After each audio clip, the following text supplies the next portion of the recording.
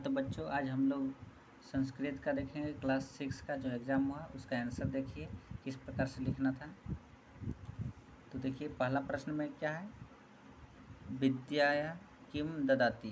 तो इसका उत्तर होगा विद्या विनयम ददाती। दूसरा प्रश्न में है, कैस्य भूषणम शास्त्रम भवती? तो इसका लिखना है, श्रोत्रस्य भूषणम शास्त्रम भवती। उसके बाद तीसरा में क्या प्रश्न है, देखिए।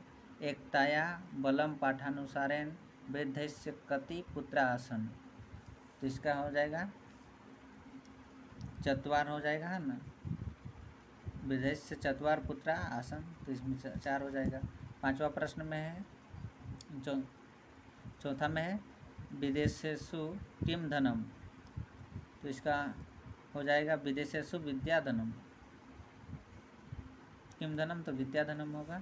उसके बाद पाँचवा में देखिए, समुद्र तट पाठानुसारेण जना का भी जल विहारम कुरंती तो इसका आंसर लिखना है, जना नौका भी जल विहारम कुरंती उसके बाद खंड ब में देखिए, इसमें अधोलिखित पाठानुसारेण जना का भी जल विहारम कुरंती इसमें दिया हुआ है, देखिए। तो ये सब आपको पढ़ना है। उसके बाद प्रश्न यहाँ से दिया देखिए। छठा में है कौ प्रातःकाले उद्यानम उद्याने भ्रमत।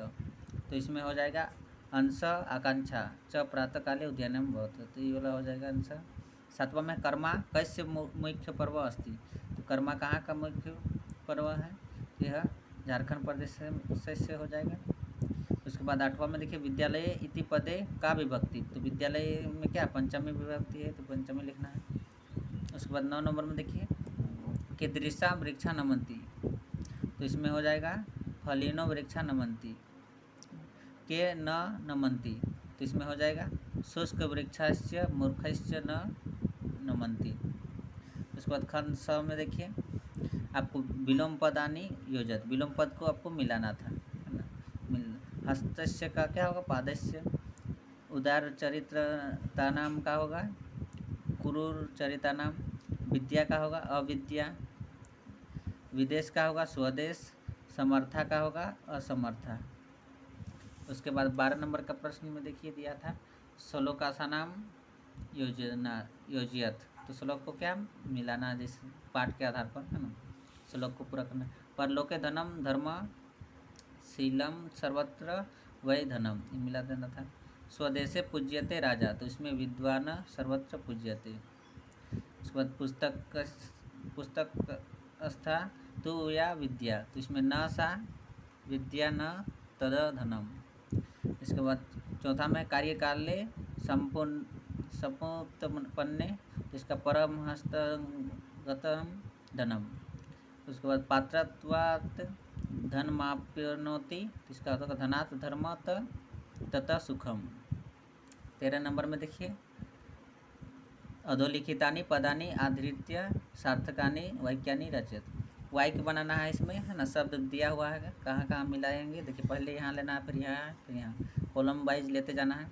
तो देखिए, वानरा, वृक्षेशु, कुरदंती। तो इसको इस तरह से वाइक बना के लिखना था। सिंहा, वनेशु, गर्जती, गर्जंती।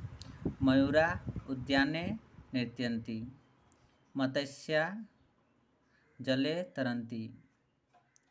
उसके बाद खगा, आकाशे उत्पन्न उत्पतंती। इस तरह से था। तो आप सभी बनाए होंगे इसी प्रकार से। तो थैंक यू मिलते हैं नेक्स्ट वीडियो में। तब तक के लिए बाय